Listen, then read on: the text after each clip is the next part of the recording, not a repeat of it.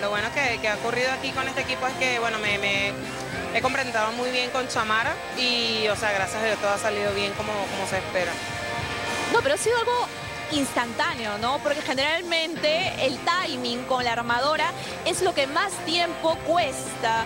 Y tú en el primer partido ya parecía que jugaras con Chamara desde siempre. Bueno, sí, lo que pasa es que a mí lo que me favorece y lo que me gusta es que yo soy una jugadora que me gustan las pelotas rápidas y ellas aquí, la mayoría de las jugadoras y las levantadoras específicas en Perú, son así, son, son jugadoras de, con la pelota muy rápida y pues nada, a mí me, me, encanta eso, incluso me traté de adaptar lo más rápido posible con ella y fue excelente. Pues. Ahora viene de ganar a Divino, pero el próximo encuentro de Cristal es frente al vigente campeón, la Universidad San Martín.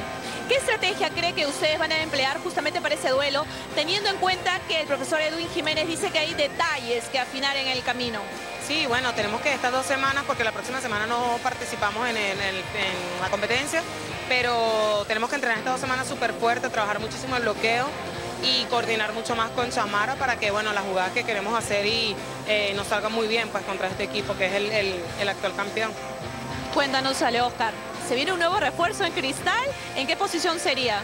Bueno, no, no me quiero anticipar, eh, pero bueno, lo más probable es que sea una central, todavía están en eso, es lo que, a lo que hasta ahora sé, pero bueno, todavía no, no sé más nada, ellos están en ese proceso, así que bueno, esperemos que la que llegue, bueno, aporte muchísimo y nos ayude muchísimo pues, a obtener el campeonato que es lo que queremos.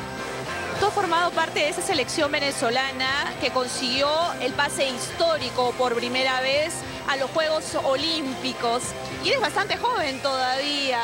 Eh, ¿Tú asumes de alguna manera el liderazgo dentro de Cristal? Bueno, yo pienso que todas somos líderes.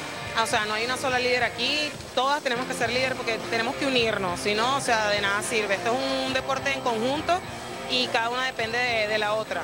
Entonces todas tenemos que ir de la mano. Pienso que que como te digo, no somos líderes, eh, ninguna es líder, o sea, todas estamos en conjunto ahí, eh, dando el resto de nosotras.